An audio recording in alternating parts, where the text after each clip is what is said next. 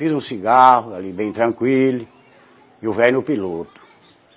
Aí eu desatei o anzol do tronco da árvore, não marrei na gaia, não marrei no tronco da árvore. Falei, ó, oh, velho, segura aí que eu vou, vou mexer com o peixe.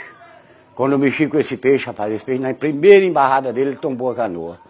Tombou a canoa e, e me carregou pelo fundo d'água. Nós viajamos uns seis quilômetros, rio acima, eu pelo fundo d'água. Falei, não solta, eu quero ver a cara desse peixe. Pelo fundo d'água. Que isso? Foi. Quando, nós, quando ele deitou, eu vim em cima d'água, que eu saco de noite, escuro, chovendo.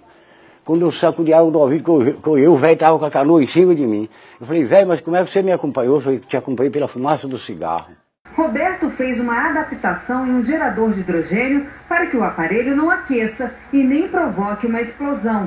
O mecanismo separa o gás da água e o transforma em combustível.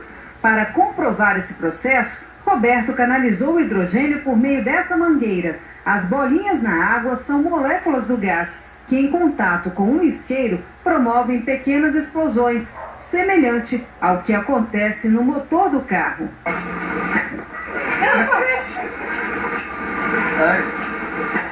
A adaptação do equipamento não provoca nenhuma modificação no sistema original do veículo. Com menos de um litro de água, Roberto rodou cerca de 2 mil quilômetros. 2 mil quilômetros.